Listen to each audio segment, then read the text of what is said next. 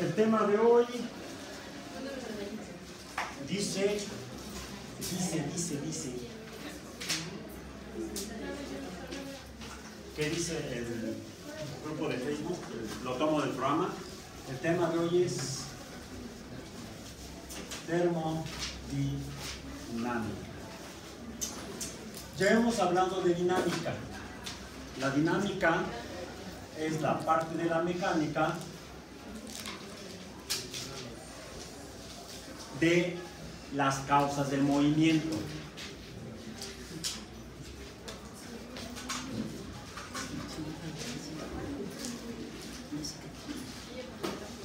O más que el movimiento, las causas de los cambios. Las, las causas, las causas de, de los cambios.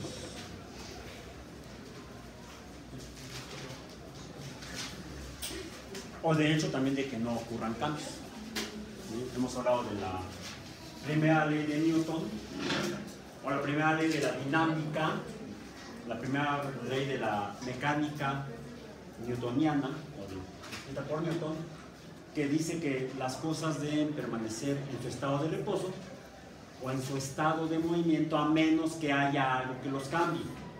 Entonces, la dinámica describe las fuerzas. La existencia de fuerzas y que las fuerzas son las causas de los cambios. De hecho, no más que punto y coma sería dos puntos. Las causas de los cambios son las fuerzas. F. En el caso del, del movimiento o cambio de posición en el espacio, está escrito como dependiente de el cambio de movimiento por la materia, sobre la materia. Eso sería la fuerza, el cambio de movimiento que sufre la materia, la aceleración. Eh, a su vez, vimos que cuando una fuerza es capaz de producir efectivamente ese cambio, se está haciendo trabajo. Y el la, toda fuerza que es capaz de generar trabajo es, ¿qué? Energía. ¿Bien? ¿Qué es la termodinámica? ¿A qué suena termo? El recipiente donde guardo mi café para que no se enfríe. ¿Será? No. Termo viene de calor. Calor. ¿Qué es el calor?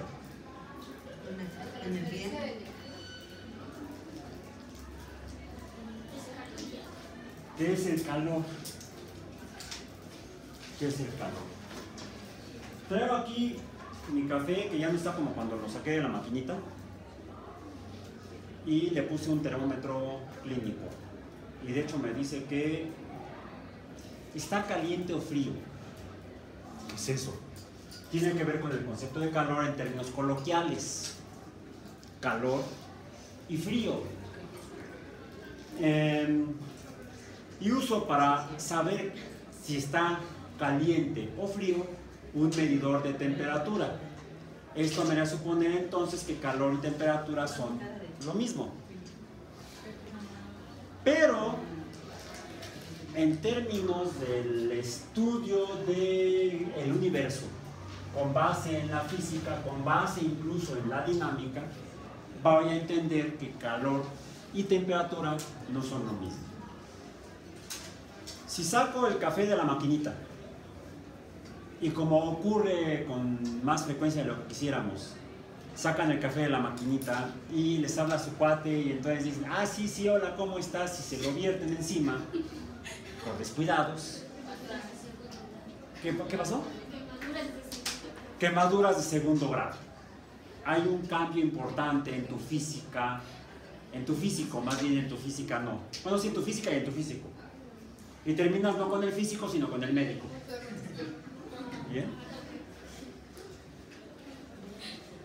O puede suceder que solamente te caigan algunas gotas. El café normalmente cuando sale de una máquina está arriba de 45 eh, grados Celsius. Y aún así, cuando cae el café caliente encima de uno, al menos uno se queja. Y puede haber, que no quemaduras en segundo grado, pero sí quemaduras en primer grado. Quemaduras en las cuales la piel se irrita. Hay un cambio en la piel, hay un cambio en el tejido. Entonces, si hay un cambio, ¿de qué podemos estar hablando análogamente? Si hay un cambio, entonces hubo una fuerza que generó ese cambio. Ese cambio en la naturaleza de cómo estaba imagino ese cambio en la naturaleza, la naturaleza de la piel, por ejemplo. Entonces, el calor es algo que produce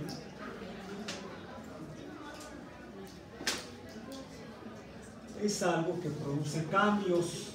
Si es algo que produce cambios, entonces ¿qué es? Una fuerza. Y es una fuerza que está generando un cambio. ¿Qué es? Por lo tanto, el calor, vamos a llamarle Q, nomás porque sí. ¿Hay idea por qué no sé? No sé. ¿Por qué no la letra C? No sé por qué, pero en casi todos los libros de física o termodinámica el calor se representa con la letra Q. Ni siquiera con la letra H, el heat en inglés. Q, calor Q. El calor es energía. Porque produce cambios. Es una fuerza que produce cambios. Lo decimos de una experiencia cotidiana. Nos cae el café encima y entonces nos genera un cambio. Se nos cambia al menos de aspecto la, la, la, epidermis. Ahorita, sin embargo, el café está marcando una temperatura de 36 grados Celsius. Es la escala con la que mido la temperatura, con la que mido, ¿qué mido? El calor, o más bien mido la temperatura. ¿Qué es la temperatura? La temperatura T es una cantidad fundamental, ya dijimos. Es una cantidad fundamental proporcional al calor. ¿Por qué proporcional al calor? Porque no es igual al calor. Se relaciona con el calor, pero no es lo mismo que el calor. El calor es lo que genera el cambio. ¿El calor qué es? Energía. El calor es energía. La temperatura es una medida que nos habla de la cantidad de energía.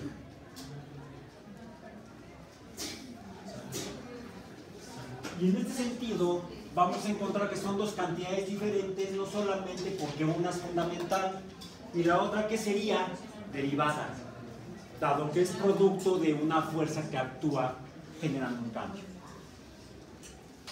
Y, una, y la fuerza que es, es una, las fuerzas son cantidades derivadas. Todas las fuerzas son cantidades derivadas entonces. Por lo tanto, la energía que es otra cantidad derivada. La energía se deriva del trabajo, que se deriva de, la fuerza, por lo tanto, la energía también es una cantidad derivada. Mientras que el calor es un, mientras que la temperatura es una cantidad fundamental. Como el, como el calor es energía, entonces el calor U es una cantidad derivada, porque es energía. energía es derivada. ¿Todas las fuerzas son vectoriales? Todas las fuerzas son vectoriales, entonces el calor debería ser vectorial. ¿Cómo se expresan? Muy buena pregunta. Y espero que la respondamos el día de hoy.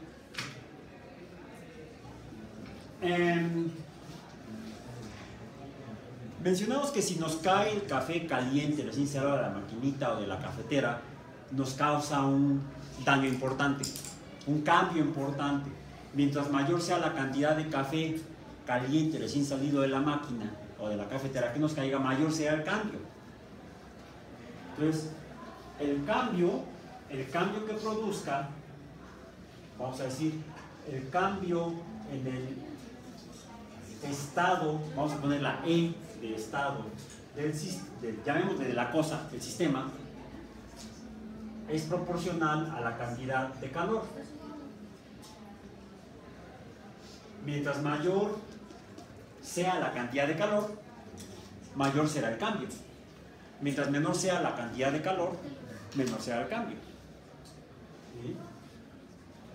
Eh, y la cantidad de calor parece que se relaciona con la cantidad de café que me caería encima. Si me cae una gota de café recién salido de la cafetera, ¿cómo es el cambio o daño que me puede causar? Pequeño, mínimo. Entonces, el calor es una cantidad proporcional. Ay, proporcionalidad que no quedó. Voy a ver si la pinta bien. ¡Ah! Se, se niega a salir la tinta. Ahí está, proporcional a M es proporcional a la cantidad de materia. Mientras más café caliente, mayor la cantidad de energía, mayor la capacidad de generar ese cambio. Mientras menor la cantidad de café, menor la energía, menor la capacidad de generar ese cambio. Este tipo de, cantidad, de, cantidades o de propiedades, David me está diciendo cómo es el sistema, cómo es el sistema, pues muy caliente porque tiene mucho calor. Bien, es una propiedad, es una cantidad derivada que también podemos decir que es una propiedad que me dice cómo son las cosas, cómo es un sistema X. Propiedad de las cosas. El calor es una propiedad de las cosas. Em, puede haber entonces mucho, puede haber entonces poco. Esa propiedad que depende de la cantidad de materia es una propiedad que llamamos eh, las propiedades de las cosas que dependen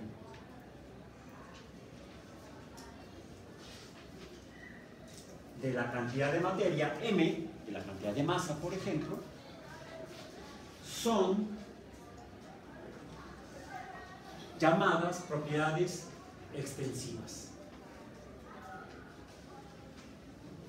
Déjenme ver si no me equivoco, si no lo dije al vez. Siempre, siempre me hago bolas con este concepto. Eh, sí, eso es, me equivoqué de...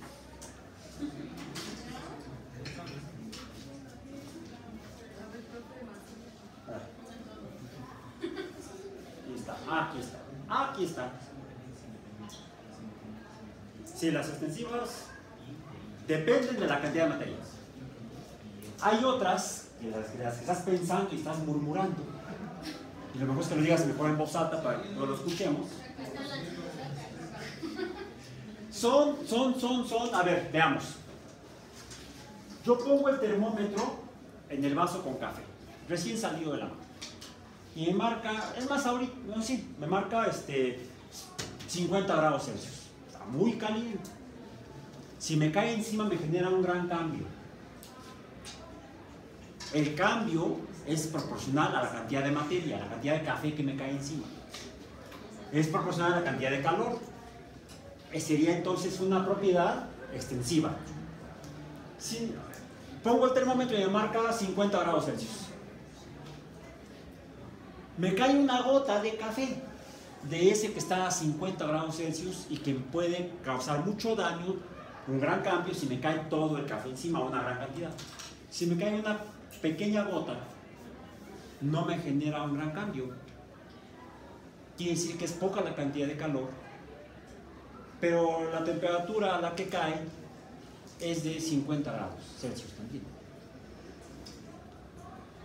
La cantidad de calor es diferente, pero la cantidad llamada temperatura es la misma.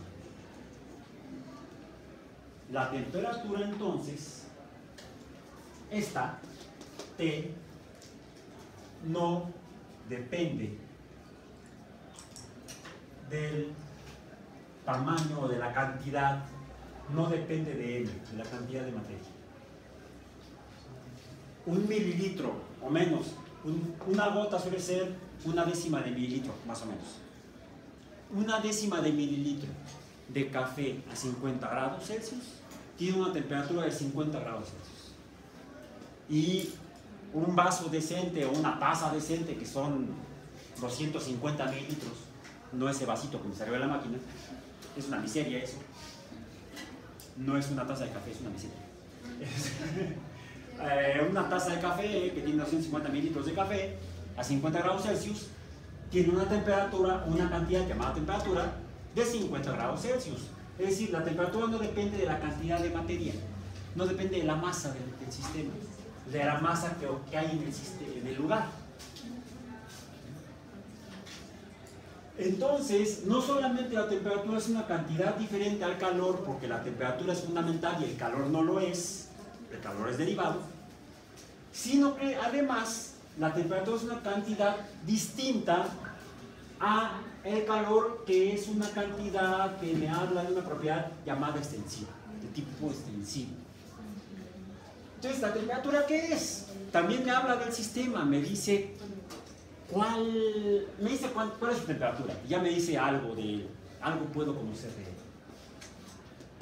Este tipo de propiedades, entonces también es una propiedad, la temperatura es una propiedad de las cosas, puede haber cosas con temperaturas números grandes o temperaturas números pequeños, es más, hasta temperaturas, cuando tengo la escala bien definida, hasta con un origen, puedo medir temperaturas por debajo, más bien, menores que cero, que sería el origen, que sería en mi escala una referencia, como en un sistema de referencia espacial, donde tengo X, Y y Z, tengo aquí el 0 en X, tengo el 0 en Y y tengo el 0 en Z.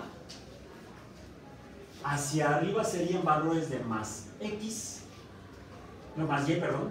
Hacia abajo serían, ¿qué? Valores de menos Y. Hacia la derecha son valores de más X. Hacia la izquierda son valores de menos X.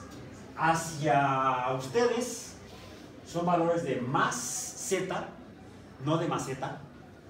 ¿sí? Porque que no sepa maceta no pasa de zaguán. Más Z. Para atrás de la pared serían valores de menos Z. Allá no hay macetas. ¿sí? Hay menos, hay menos hongos. Hay menos zetas. Aunque son con S. ¿sí? Ok. Yo podría establecer una escala de temperatura en la que tenga aquí un cero. Entonces, hacia arriba tendría valores de más T y hacia abajo tendría valores de menos T. ¿O no? Finalmente lo puedo hacer. Puedo establecer una escala de temperaturas. ¿Sí? Ok. Pero me dice algo del sistema. Hay mucho calor, hay poco calor, pero también me diría que no depende de la cantidad de materia. Entonces me está diciendo algo de, lo que estoy tratando de conocer, de, llamemos de sistema. Es entonces también una propiedad de las cosas. Tienen temperatura alta positiva o tienen temperatura baja positiva o una temperatura alta negativa. Me dice algo de las cosas. ¿Qué tipo de propiedades son esas que no dependen del, del tamaño de las cosas, de la cantidad de materia? No pueden ser extensivas. Tenemos que poner otro nombre. Llamémosla intensiva. Lo menciono porque no solamente la temperatura y el calor son cantidades o propiedades intensivas o extensivas. Por ejemplo, la masa que sería una cantidad extensiva. Creo que depende de la cantidad de masa. La masa depende de la cantidad de masa. Hay mucho café, hay poco café. Eh, la velocidad.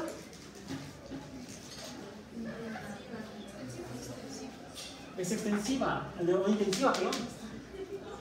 La velocidad no depende del tamaño del sistema. Inicialmente. Un, una bicicleta a 100 kilómetros por hora tiene la misma velocidad que un automóvil o que un tráiler a 100 kilómetros por hora. No depende del tamaño del sistema, la velocidad. Ahora, ¿cuánta fuerza tengan que ponerle yo para cambiar su velocidad y acelerarlo hasta 100 kilómetros por hora? La fuerza que será. De acuerdo a esto, es una propiedad extensiva. La velocidad, ¿por qué no? La velocidad, recuerden que dijimos que vamos a tomar como ¿verdad? ¿De qué depende? Solamente del cambio de posición y el tiempo. ¿Depende de la cantidad de material? No, entonces ¿cómo es la velocidad? La velocidad no va aquí. La velocidad va acá. Es una propiedad intensiva. ¿Sí? La fuerza para mover algo a una, cambiarle la velocidad sí depende de la cantidad de, materia. Ahí está. F depende de, A, de, M, perdón. F depende de M. F depende de M. Por lo tanto, F es las fuerzas, las fuerzas, F es una propiedad intensiva. Ya que mencioné la palabra, dije es una propiedad de las cosas, una propiedad del sistema, una propiedad de lo que me interesa conocer. En termodinámica necesitamos introducir algunos conceptos o nombres para las cosas. Ya hablamos de la cantidad, una cantidad que se llama temperatura que me habla de algo del sistema. Pero ¿qué me está diciendo? Todavía no lo decimos, todavía no lo entendemos completamente. El calor, el calor que es, todavía no termino de entender. Pero para eso necesito ponerme de acuerdo con cómo conozco. ¿Qué es lo que voy a conocer? ¿Qué es lo que me interesa conocer? A lo que me interesa conocer le llamo sistema. El sistema es la parte del universo que me interesa. La parte del universo que me interesa. Lo que no me interesa no está forma parte del sistema, aunque esté en el universo. Entonces, me puede interesar conocer del sistema la temperatura, la temperatura del café. Me interesa la temperatura del café, no la del resto. ¿Mi sistema cuál es? El café, ni siquiera el vaso. Podría ser una taza, podría ser un termo. Me interesa el café. Ese es el sistema que me interesa. En termodinámica sí lo entendemos. Y en este sistema yo supongo que hay una cierta cantidad de calor y una cierta cantidad de materia, que son proporcionales, ya dijimos. El calor es, depende de la, de la cantidad de materia. Entonces, un sistema en termodinámica está formado por calor y materia. Calor y materia. Un sistema tiene una cierta cantidad de calor. ¿Cuánto calor hay en el vaso? Pues en el café depende de la, lo que me diga la temperatura y la cantidad de materia, el volumen, la cantidad de café que hay ahí. La masa de café, ni siquiera el volumen, la masa de café. Y yo puedo ver que yo cuando lo saqué marcaría una temperatura mayor, ahora marca una temperatura menor. ¿Qué pasó? Algo cambió. Algo cambió. No, algo cambió. ¿Qué cambió? La temperatura. El sabor no cambió. Sí, igual de mal. Sale agua de calcetín eh, no, está, está bueno. Está bastante así. Bien.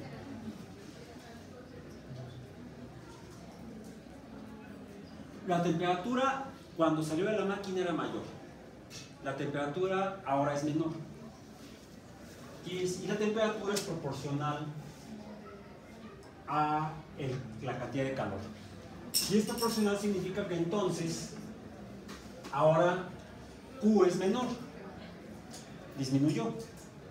Hubo un cambio en el sistema. Los sistemas entonces pueden cambiar.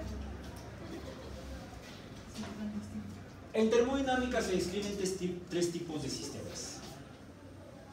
Ese es el sistema. Ese es el café que está dentro del vaso. Tiene una cantidad de calor. Cierto, debo considerar que existe el entorno, el universo, está acá el universo. Uh, el universo. Y en el universo también puedo identificar que, si tomo otro termómetro, que no sería de esto, no me sirve, porque el, el intervalo de la escala está demasiado arriba respecto a las temperaturas del aire, afortunadamente, a menos que esté yo en Tijuana o Mexicali en pleno verano, entonces el termómetro no va a dar, se va a salir de la escala. Y eso que los termómetros clínicos marcan hasta 42. Por eso le llaman la antesala del infierno, sin dudas. Em, también hay calor en el universo. Hay calor. Bien. Hay café aquí adentro. Hay café aquí adentro. Aquí lo que presento el café es materia. Ahí está M. Y hay materia afuera. Hay café afuera. Hay café en la máquina. O en la cafetera. M. Bien. Una vez que saqué el vasito con café de la máquina, ya no se relaciona con él. Y mientras no le haga yo nada al vaso con café, el café va a seguir ahí.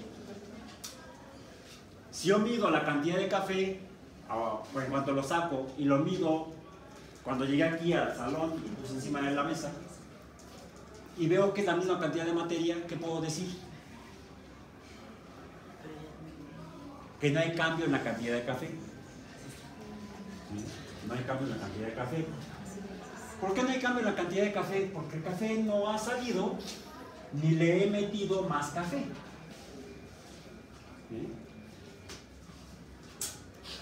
El café ahí sigue y no se ha salido. Tampoco le he puesto más. E imaginando que la cantidad de calor fuera la misma, que no hubiera cambiado, pues tendría la misma cantidad de calor. Si la cantidad de calor y la cantidad de materia en un sistema permanece constante, yo puedo suponer que se trata de un sistema aislado. Un sistema aislado. No cambia la cantidad de calor no cambia la cantidad de materia. Bien. Podría suceder que, como realmente sucedió, ahora el café tiene una temperatura de un más número más pequeño, 36 grados está marcando. Q es más pequeño que al principio,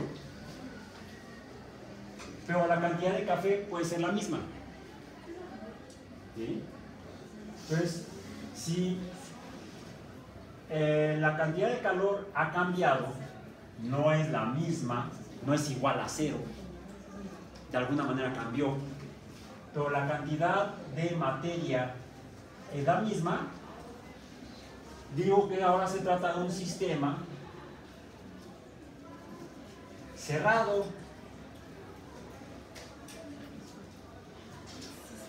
un sistema cerrado. Podría suceder finalmente que ya el café tiene una cantidad de calor menor. La temperatura que está midiendo, que es proporcional a la cantidad de calor, es menor. Y entonces digo que hubo un cambio en la cantidad de calor, ya no es igual a cero. Bien. Y además, yo hago esto. Tiene un sabor aunque está con menor calor y a menor temperatura por lo mismo. ¿Cómo es delta M? Diferente de cero. Ya hay un cambio en la cantidad de materia respecto al inicio. Inicio, final, final. final 1, final 2. A esto le llamo aquella en la cual hay cambios en el calor y cambios en la materia, en las cantidades, cantidades, sistema abierto, plaza, sésamo, cerrado, abierto, plaza, sésamo, a nivel universal. Bien. ¿Cómo de qué? Bien, bueno. Hola, Beto. Eh, bien. Qué sonso. Ok, este. Esto es lo que estudia la termodinámica. Las cosas en las que hay cambios en la energía en forma de calor. Pero qué caramba es el calor. Para eso necesitamos introducirnos en los paradigmas o principios de la termodinámica. Y ya vieron un video hace rato. Ya vieron un video hace rato y oyeron un audio también hace rato. ¿sí? Vieron un video y oyeron un audio. ¿sí? ¿Y olfatearon un olor? Sí, tal vez el olor a café. ¿Degustaron un gusto? Mucho gusto porque no les di café. Bien. Eh, bueno, ¿cuáles son esos principios de la termodinámica? Son los que nos describen cómo se comporta el calor relacionado con la cantidad de materia en los sistemas que tienen energía y materia. ¿Cuáles son esos? Prácticamente todos en el universo, o casi todos en el universo. Vamos a ver más adelante por qué casi todos. Pero por lo pronto supongamos que todo en el universo está formado por materia y o energía. Y entonces todo en el universo puede, la cantidad de energía en forma de calor puede cambiar, o la cantidad de materia puede cambiar. Bien, bueno. Em, ¿Qué es lo que dice el video?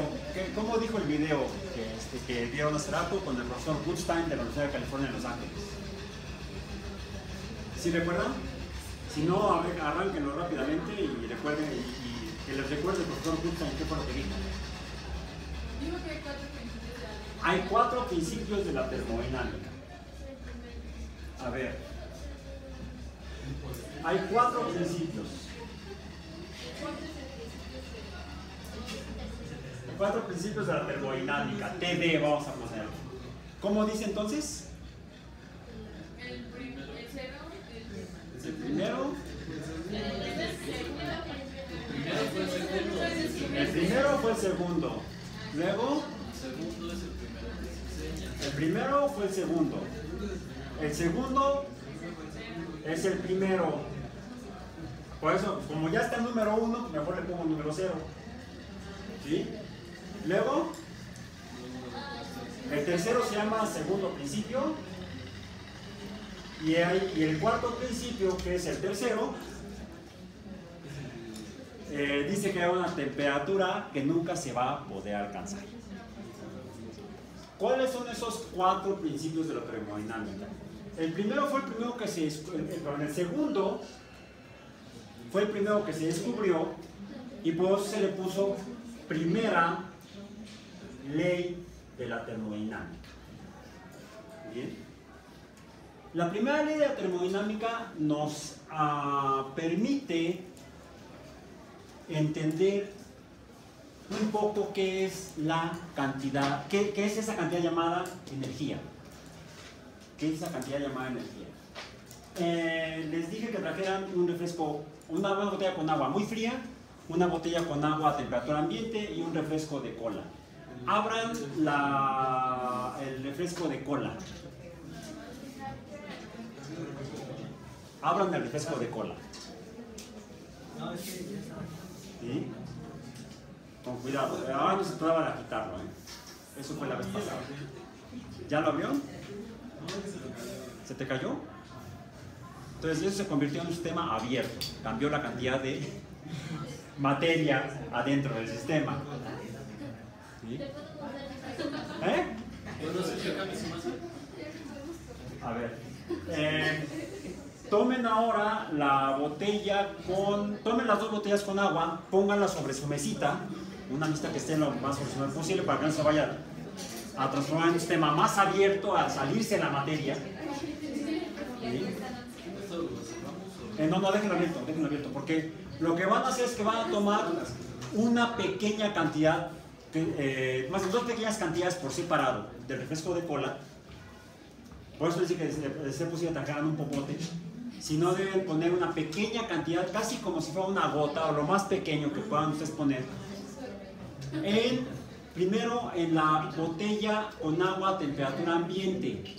Y lo más rápido que puedan tomar otra muestra de, de si es posible, de la misma magnitud de materia del refresco de cola y ponerla en la botella con agua fría. A ver, abren las dos botellas con agua, toman un poco de refresco de cola y ponen un poco, la misma cantidad, en cada botella con agua. Sin dejar, tratando de que no caiga desde una altura muy grande, como si la pusieran nada más sobre la superficie. A ver, ahí tienen. Un popote, van a popotear, no pipetear. Porque es popote, no pipeta. Aunque suena parecido y funciona igual, salvo las pipetas esas que ya se mal acostumbraron a usar con el pulgar. Antes usábamos el dedo índice en las pipetas de boca. Ah, tiene que ver con lo que estuvimos viendo. Eh, la si tú tapas en la parte de arriba de la pipeta, cuando tiene líquido, la presión del aire, de la atmósfera en la que estás, empuja el líquido adentro de la, de la columna de agua de la pipeta y pues no cae, o del popote, y pues no, pues no se derrama, no gravita, pues no cae. Es la presión atmosférica, el movimiento de las partículas de gas las están empujando al líquido adentro del cilindro de la pipeta o del popote. ¿Sí? ¿Ya lo pusieron?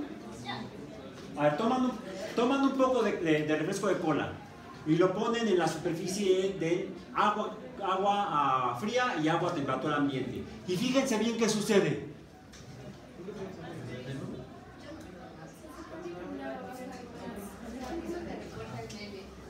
Rápidamente con la otra, pongan un poco. ¿Hay diferencia? ¿Cuál es la diferencia? En una se mezcla más rápido y otra se mezcla más despacio. Cuando se mezcla, ¿cómo se que está mezclando? Porque se está dispersando, se está distribuyendo en el espacio de líquido de la botella. ¿Eh? ¿Cuál es la diferencia? ¿En cuál, ¿En cuál se dispersa más rápido? En la que está al tiempo. Pero el tiempo, el tiempo es una variable, es una cantidad de... Ah, recuerden que estamos en física, no allá afuera en la calle. El lenguaje debe ser preciso y adecuado. En la que está a temperatura ambiente. La temperatura ambiente. En cambio, la que está a una digamos que la temperatura ambiente está acá. Aquí está T, su índice AMBR. Temperatura ambiente. Y esta está, un refresco frío recién salido de un refrigerador, debe estar en un refrigerador aproximadamente a 4 grados. La escala que usamos, la escala internacional, debería ser Kelvin, pero la que usamos cotidianamente es la escala Celsius. La temperatura, por cierto, ahorita, la temperatura ambiente en la Ciudad de México, promedio o en el lugar donde la miden, está en 24 grados. Temperatura ambiente 24 grados Celsius. Temperatura del refresco recién salido o del agua recién salida del refrigerador sería 4 grados Celsius. Hay diferencia en la temperatura. Es menor la del agua a la que llamamos fría y es mayor la del agua a temperatura ambiental. ¿En cuál se distribuye o se disuelve más rápido? En la que está a temperatura mayor. La que está a 24 grados Celsius se dispersa más rápidamente. Decimos que está más caliente. La que está a 4 grados Celsius está menos caliente. ¿Qué es el calor? Energía. La energía que es la capacidad de una fuerza para producir trabajo. ¿Se está produciendo trabajo en la botella? Sí, adentro de la botella, por supuesto, en el líquido, vamos a decir, en el líquido. ¿Se está produciendo trabajo en el líquido? ¿En el agua? Sí, están entrando las, eh, el refresco de cola y cada poco de refresco de cola se está desplazando en el espacio de líquido de agua de la botella. En las dos, la que está a 4 grados Celsius y la que está a 24 grados Celsius. Pero en una se desplaza más que en otra. En una hay más trabajo, se está realizando más trabajo que en la otra. ¿En cuál se realiza más trabajo? En la que está a 24 grados Celsius. Se realiza menos trabajo en la que está a 4 grados Celsius. Si en la que, en la que está a 24 grados Celsius se realiza más trabajo, ¿qué significa? Que la energía es mayor. ¿Qué es la energía?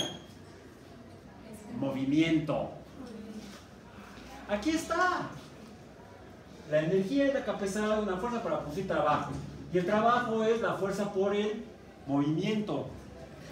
¿Qué es el calor? Movimiento. Pero movimiento de, las, de los componentes de la materia. Ya vimos que la materia puede encontrarse en diferentes estados de agregación.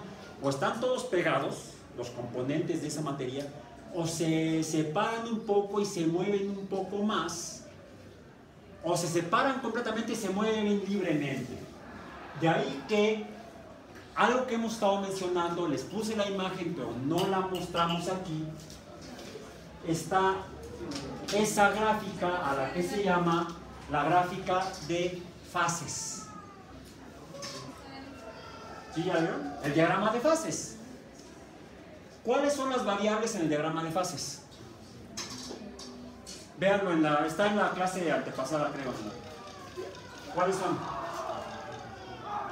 ¿Qué está, en, e, ¿Qué está en X? ¿Cuál es la variable en X? En el diagrama de fases, búsquenlo.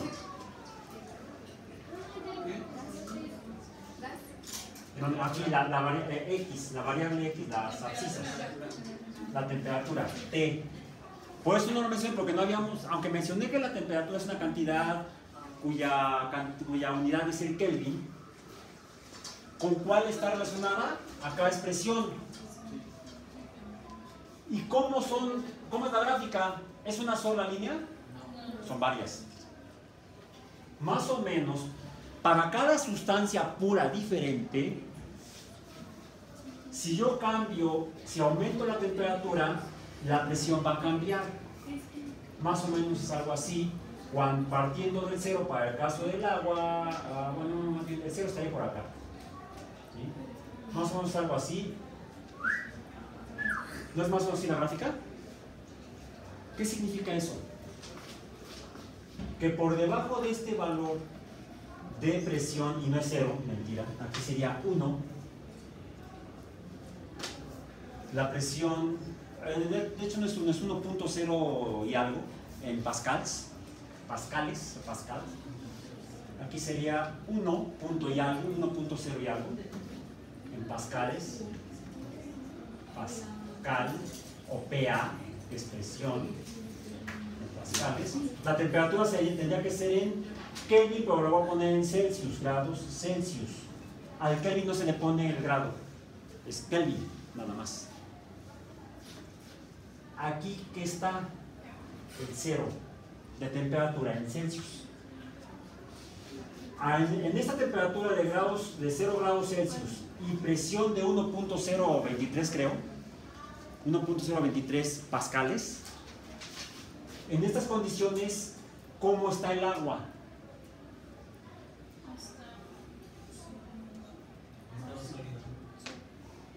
Está aquí el agua es sólida para el agua, pero también es líquida, pero mentira, déjenme poner, aquí lo voy a cambiar de posición. La palabra es sólida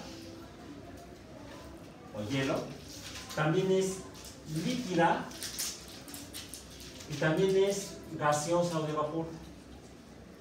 Aquí a esa temperatura de 0 grados Celsius, en ese valor de temperatura, en esa cantidad de temperatura, y en esa cantidad de presión, 1.023 pascales, el agua se encuentra tanto en, tanto en fase sólida como líquida como en estado de vapor o gas. ¿Y cómo esto puede ser posible? Pues no se pregunta de la naturaleza, yo no soy Dios. Recuerden que en ciencia describimos, inicialmente describimos cómo es la naturaleza y tratamos de entender cómo funciona. Tratamos de entender cómo funciona. Casi siempre lo que hacemos es solamente describirlo.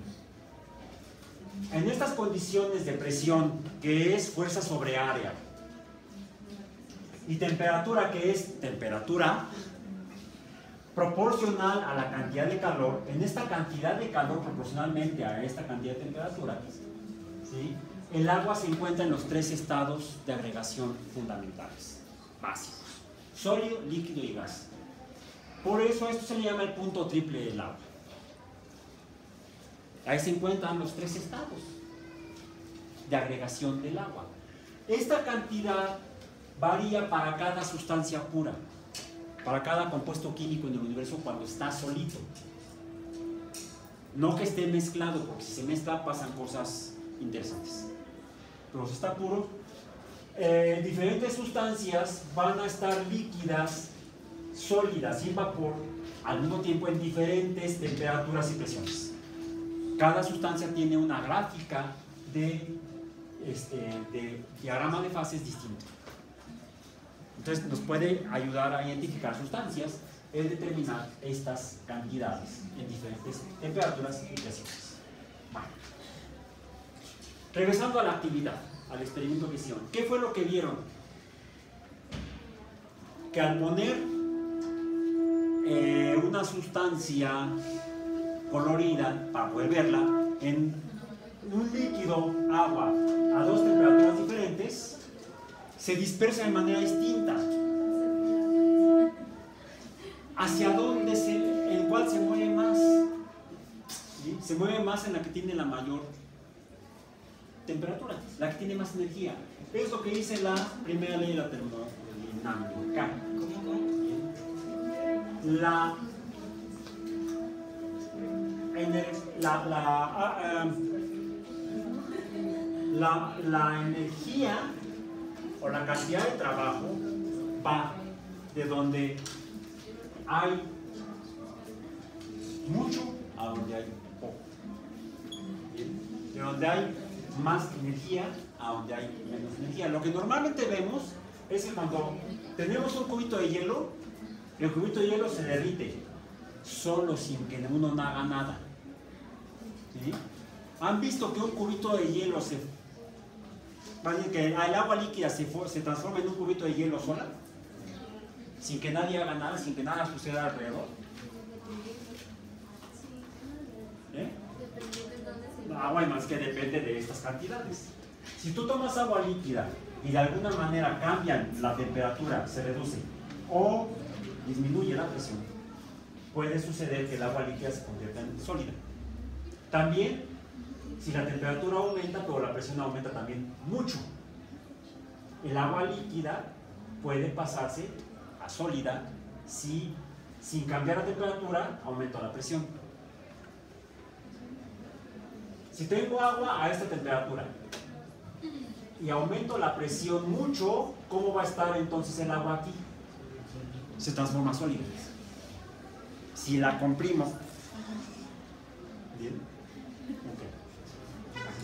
Entonces, la primera ley de la termodinámica lo que me dice es que, además hay otro, hay otro detalle. En la, en la primera ley de la termodinámica, en el principio 1, en el primer principio, Profesor, perdón, ¿nos da algún, algunos videos donde se pueda apreciar eso que está presionando ahorita? Eh, mira, ya sabes que ya lo vimos, la primera ley ya la vimos. Ahorita les voy a decir dónde la vimos. Eh, déjenme nada más poner aquí, buscar acá el concepto. Ok.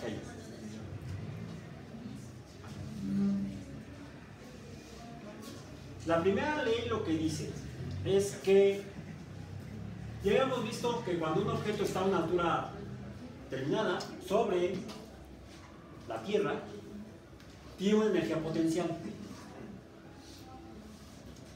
Cuando empieza a moverse, se transforma en energía de movimiento o energía cinética. En la cuna de Newton, levanto una esfera, ¿bien? la suelto, ¿y qué sucede? Se empieza a mover, pasa de energía potencial a energía cinética. ¿Bien? Lo que me dice el primer principio es que la energía total en un sistema es, eh, sería, por ejemplo, dependería de la energía potencial, bueno, es que lo puse P, vamos a ponerle E subíndice P, la energía potencial, ¿sí? menos, bueno, no, menos no, sí, menos la energía cinética cuando se mueve. La me ve, energía total. No, más bien es esta. Más.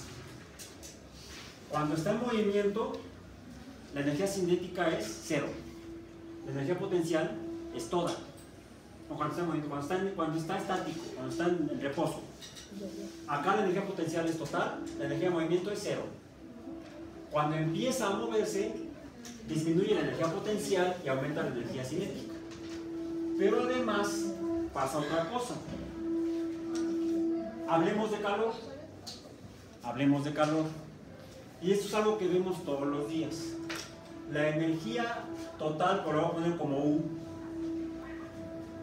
Supongo que fuera el universo. La energía total, U, cuando se trata del calor, cuando se trata del calor, ya vemos que el calor es movimiento, se mueve más donde está más caliente, se mueve menos donde está menos caliente, por lo tanto el calor es movimiento. La energía total va a ser igual a la energía en forma de calor, menos el trabajo. Menos el trabajo. Y aquí el ejemplo es, en la vida cotidiana es, por ejemplo, el de, la, de los combustibles. Tomo yo, bueno, no, no tomo porque me va a hacer daño. Consigo gasolina, se la pongo al tanque del vehículo. Tanque del vehículo. ¿Bien?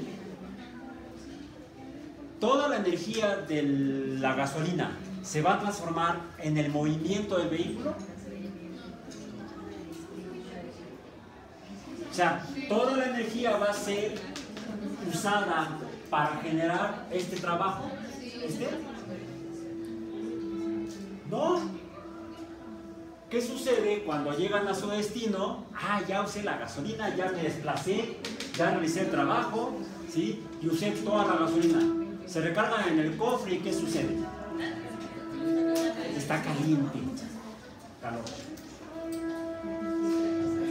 La energía total en un sistema de este tipo es el trabajo realizado y el calor. Pero no todo es útil. Solamente esta parte es útil y esto es calor. A lo que me dice es que finalmente no puedo sacar toda la energía de un sistema. No hay un sistema que, se, genere siempre trabajo. No existen las máquinas de movimiento perpetuo. En la cuna de Newton, se han fijado, suelto la primera esfera, golpea a la segunda, sale la última y a qué altura llega? A la misma altura de la que solté la primera. Vean el video que subí, comparen y se van a dar cuenta que no llega hasta arriba. Aunque no es perceptible, cuando la esfera, la primera, choca con la segunda, un poco del movimiento se transforma en calor.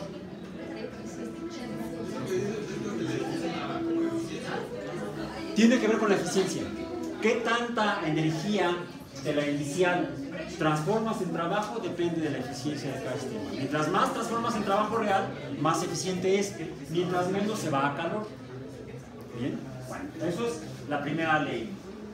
Pero ¿qué sucede con la energía o con el calor? No el calor, la temperatura. ¿Cómo mido la, cómo mido la energía? Por medio de la temperatura.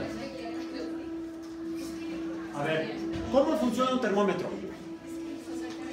Tiene un cuerpo de vidrio, adentro tiene mercurio, en un cilindro, en un, en un hueco, es un tubo sellado por ambos lados y abre la boca. Levanta la lengua. Eh, esa es la boca. Está limpio el termómetro.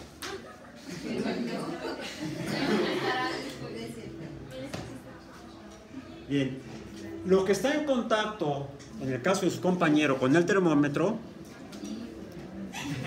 ahí está, está el termómetro. El, vidrio del termómetro, el tubo de vidrio termómetro está en contacto con la boca de su compañero, no con el mercurio. Afortunadamente. Si no, imagínense. Su compañero tiene una cantidad de calor, lo podemos sentir. Una cantidad de calor que dicen los médicos que debe ser de 36 grados Celsius. Cuando, el termómetro antes de poner en la boca de su compañero estaba como este que tengo yo aquí, que la temperatura estaba por debajo de la escala porque la mínima es 35. Debería estar a una temperatura de 24 grados Celsius, temperatura ambiente. Bien. Después de que pasa un poco de tiempo, saco el termómetro y marca que su compañero está muerto, no es cierto. Marca 36.6 grados Celsius. Bien. El volumen del mercurio cambió. El volumen del mercurio cambió. Después de que puse el termómetro dentro de la boca de su compañero. ¿Por qué cambió? Es decir, hubo un trabajo que desplazó al mercurio. Hubo una energía que pasó de su compañero al mercurio sin que estuviera en contacto con el mercurio. El termómetro estaba, el vidrio estaba en contacto con el mercurio a la temperatura ambiente y a la temperatura del mercurio. Su compañero estaba en temperatura mayor, 36. La temperatura pasó de 36 grados Celsius, 36, a, a 24. No, de 24 a 36. Bien. Entre los tres cuerpos, vamos a decir, el cuerpo de su compañero, el cuerpo de Mercurio y el cuerpo de el vidrio. Ahora los tres están a la misma temperatura. Lo que me dice esto es que la temperatura tiene dirección. La temperatura se comporta vectorialmente. Bien. Eh, entonces, la temperatura tiene dirección y esa es la ley cero. Esa se descubrió después. La ley cero dice que si dos cuerpos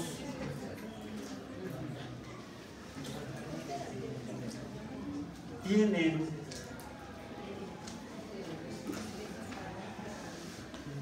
T1 igual a T2, tienen temperaturas iguales y T2 está en contacto con T3, entonces, ¿cómo es la temperatura de T3? T3 es igual a T1.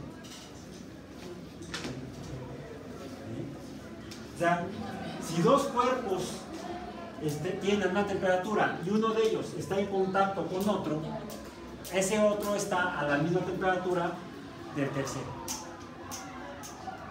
O es la ley del equilibrio térmico. Cada más también me dice que la temperatura tiene sentido. Hagan una actividad en su casa, que la podrían hacer con tres recipientes que tengan tres líquidos temperaturas diferentes. Bien. Eh, pueden, eso lo pueden medir con, con termómetros clínicos. Calienten agua a 41 grados Celsius. Lo pueden medir con un termómetro clínico. Calienten agua a 38 grados Celsius. Y calienten agua a 35 grados Celsius. Hagan el sistema así, para este. En un recipiente grande, pongan agua, esta, a, eh, a temperatura igual a 38 grados Celsius. Ponen aquí luego un vaso con agua, esta a temperatura de 41 grados Celsius. Y ponen otro vaso con temperatura, con agua a temperatura igual a 35 grados Celsius, o 35 o 36. ¿Cuál va a ser la temperatura final de cada vaso? ¿Eh? ¿O no bien? Al final sí todos terminarían a temperatura ambiente, pero al menos porque están en contacto todos además con el entorno. Para hacerlo preciso necesitaríamos esto aislarlo del entorno. Aislarlo del entorno. Es un poco más complicado, pero se puede apreciar la ley cero con este simple sistema. Ahora, ¿cuál es la segunda ley? ¿Qué nos dice la segunda ley? La segunda ley nos dice, en términos simples, la segunda ley de la termodinámica es lo que nos explica o nos responde a por qué la cuna de Newton termina en reposo.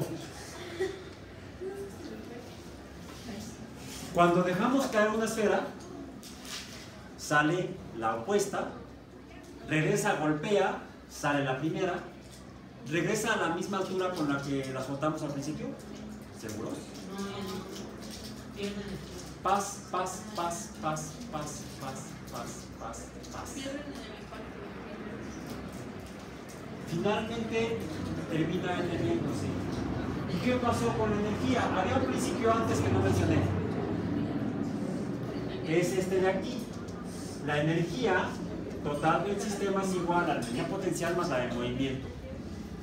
Y se transforma una energía en la otra. Si yo suelto la, el, el plumón, ¿qué esperan ustedes que suceda? Que se mueva hacia abajo. Déjenme ver, estaba viendo a nuestro compañero en lugar de ver el pizarrón. ¿Cómo tomas apuntes? Ahí está, este es el experimento que les digo, ¿correcto? Ahora, yo decía yo, está el plumón, lo suelto.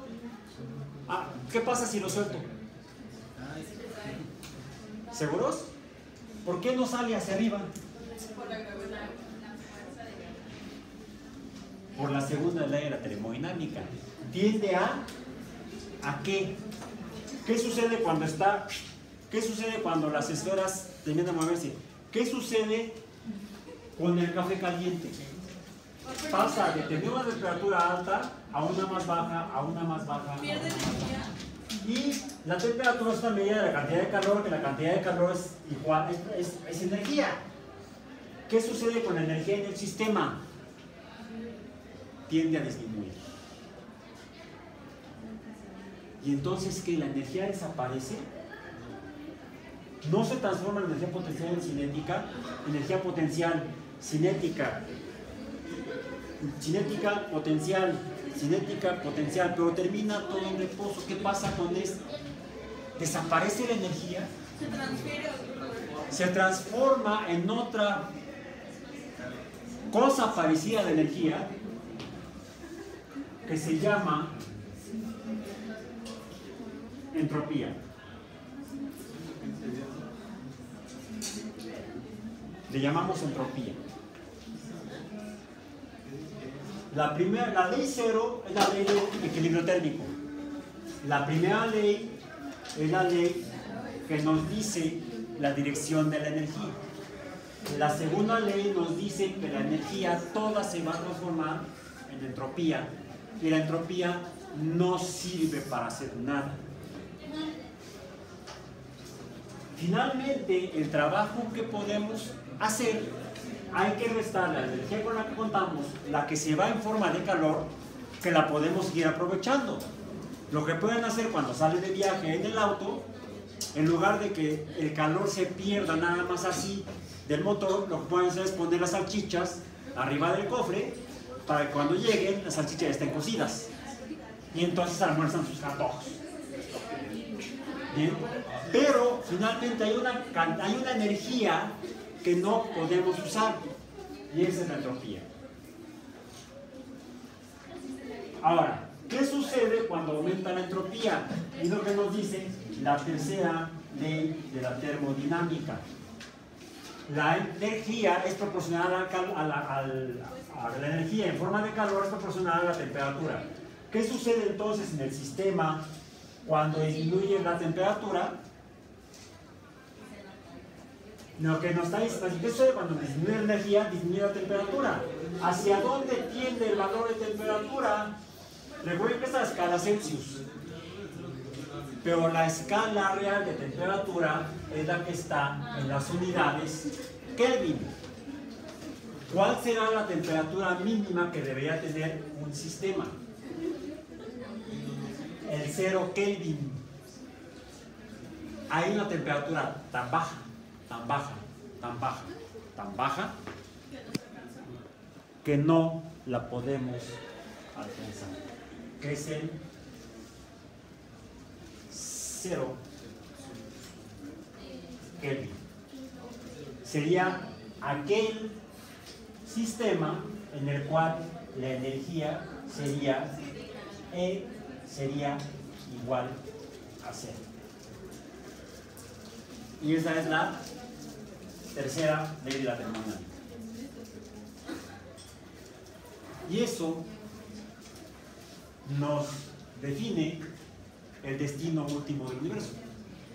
Así es que aprovechen, feliz día de muertos. Termino, revisen cuál es la última, una de las, la, la antepenúltima imagen que está en el grupo de Facebook. Rápidamente, antes de despedirnos el día de hoy, dice aquí, El todo el desarrollo matemático se, los compartí en el grupo de Facebook. Ahí lo pueden encontrar. En, en la, no es la última, no no es la- la antepenúltima imagen. Está en los comentarios. Eh, las últimas dos son, muestran una- un quemador de gas. Antes habla del significado de la dirección de la, de la- de la energía, que es de según las montañas. Y el anterior hay un ah, texto que nos muestra las ecuaciones de este desarrollo. Y termina diciendo, los viejos químicos nunca mueren, solo alcanzan el equilibrio termodinámico.